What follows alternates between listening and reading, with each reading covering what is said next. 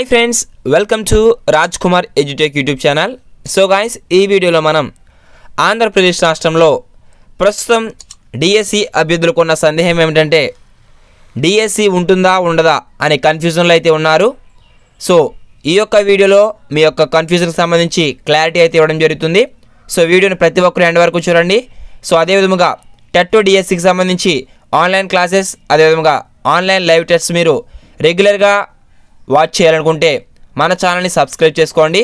So ప్రతిరోజు కూడా మీకు డైలీ ఆన్లైన్ లైవ్ టెస్ట్ అయితే ఉంటున్నాయి మన ఛానల్లో.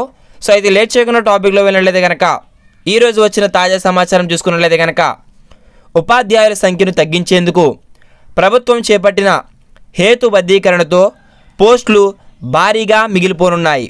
సో అయితే రాష్ట్ర వ్యాప్తంగా దాదాపుగా మనకి ఏదైతే రేషనలైజేషన్ ప్రక్రియతో పోస్టులు ప్రభుత్వం తగ్గించేందుకు చూస్తుందో దానికి సంబంధించి రాష్ట్ర వ్యాప్తంగా సుమారుగా పద్నాలుగు వేలకు పైగా పోస్టులు అదనంగా ఉన్నట్లు అధికారులు అయితే తేల్చడం జరిగింది. సో దీనికి సంబంధించి మనకి అఫీషియల్గా ఉన్న అప్డేట్స్ చూసుకున్నట్లయితే ప్రాథమిక బడుల్లో మనకి ప్రీవియస్గా ఇరవై మందికి ఒక ఉపాధ్యాయుడు ఉండగా మనకి దీన్ని ముప్పై మంది విద్యార్థులకు పెంచడం జరిగింది. సో అయితే అదే విధముగా దీంతో మనకి ఎస్జిటి పోస్టుల్లో భారీగా మిగులైతే ఏర్పడింది. సో అయితే ఈ యొక్క రాష్ట్రంలో మనకి క్లియర్ అండ్ కట్గా చెక్ చేసుకున్నట్లయితే కనుక ఒకటి రెండు తరగతి ఈ యొక్క విద్యార్థులు ఉన్న బడులే ఎక్కువగా ఉన్నాయి. సో అయితే ఇక్కడ ఒకే టీచర్తో సరిపెట్టడం జరిగింది. అయితే ఇక్కడ ఏకోపాధ్యాయ పాఠశాలలు ఏవైతే ఉంటాయో వాటిని ఉపాధ్యాయుడు సెలవు పెడితే బడి మూతపడాల్సిందే. సో దీనికి సంబంధించి మనకి ప్రాథమిక పాఠశాలకు ఇద్దరు ఉపాధ్యాయులను కేటాయిస్తామని గతంలో ప్రకటించిన ప్రభుత్వం దీన్ని ఇంకా పట్టించుకోలేదు. సో అయితే మనం క్లియర్ అండ్ కట్గా ఈ యొక్క భవిష్యత్తులో డిఎస్సి ఉంటుందా లేదా అనేది మనం చెక్ చేసినట్లయితే కనుక గత బదిలీ సమయంలో పదిహేను వేల వరకు పోస్టులను బ్లాక్ చేయడం జరిగింది. అయితే ఈ స్థానాలే మనకి ఖాళీలుగా ఉన్నాయి. అదే విధముగా ఇప్పుడు ఈ యొక్క రేషనలైజేషన్ సర్దుబాటులోనే ఉపాధ్యాయులు మిగులుతున్నందున భవిష్యత్తులో ఈ పోస్టుల భర్తీ ఇక ఉండదని మనకి న్యూస్ అయితే రావడం జరిగింది. అయితే మనకి డిఎస్సి నైంటీ ఎయిట్ వారికి వాళ్ళు నాలుగు వేల ఐదు వందల మంది వరకు ఉన్నారు. అయితే వీరిని ఒప్పంద పద్ధతిలో ఒకటి రెండు తరగతులు ఉండే బడుల్లో పోస్టింగ్ ఇవ్వాలని భావిస్తున్నారు.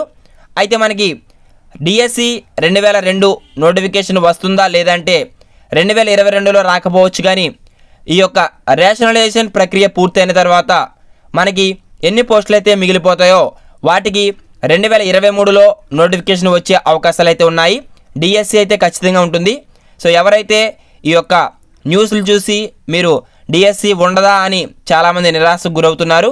సో వారికి క్లారిటీ ఇవ్వడానికి ఈ యొక్క వీడియో అయితే చేస్తున్నాను. ఓకేనా? సో డిఎస్సి అయితే ఖచ్చితంగా మనకి ఉంటుంది. కాకపోతే ఈ ఇయర్లో ఉండే ఛాన్స్ అయితే చాలా తక్కువ ఉన్నాయి. నెక్స్ట్ ఇయర్లో మనకి డిఎస్సి అయితే ఉంటుంది. ఓకేనా? సో ఎన్ని పోస్టులు కానీ మనం చెప్పలేం కానీ ఈ యొక్క హేతుబద్ధీకరణ ప్రక్రియ కారణంగా మనకి ఈ యొక్క ఉపాధ్యాయ పోస్టులు అయితే భారీగా మిగిలిపోనున్నాయి. సో కొన్ని జిల్లాల సంఖ్య చూసుకున్నట్లయితే కనుక ఈ యొక్క రేషనలైజేషన్ ప్రక్రియలో ఉపాధ్యాయ పోస్టులు ఎన్నెన్ని మిగిలినాయని మనం చూసినట్లయితే కనుక ఇక్కడ క్లియర్ అండ్ కట్గా మన వెబ్సైట్లో అప్డేట్ చేయడం జరిగింది. ఈ డీటెయిల్స్ అన్నీ కూడా మీరు వీలైతే చెక్ చేయండి. ఓకేనా? సో మనకి రేషనలైజేషన్ అయిన తర్వాత ఏది ఏమైనా సరే ఆంధ్రప్రదేశ్లో డిఎస్సి నోటిఫికేషన్ ఉంటుంది. సో మీరు ఎలాంటి నిరాశకు గురి కాకుండా మీ ప్రిపరేషన్ అనేది మరింత ఉత్సాహంగా ప్రణాళికాబద్ధంగా కొనసాగించండి. అయితే ఈ యొక్క హేతుబద్ధీకరణ పూర్తయిన తర్వాత ఎన్ని పోస్టులు అయితే మన విద్యాశాఖలో ఉంటాయో వాటన్నిటికీ కూడా డిఎస్సి నోటిఫికేషన్ అయితే వస్తుంది. ఓకేనా? సో ప్రిపేర్ అవుతున్న ప్రతి ఒక్కరికి కూడా ఆల్ ది బెస్ట్. సో ఎటువంటి దుష్ప్రచారాన్ని నమ్మవద్దు.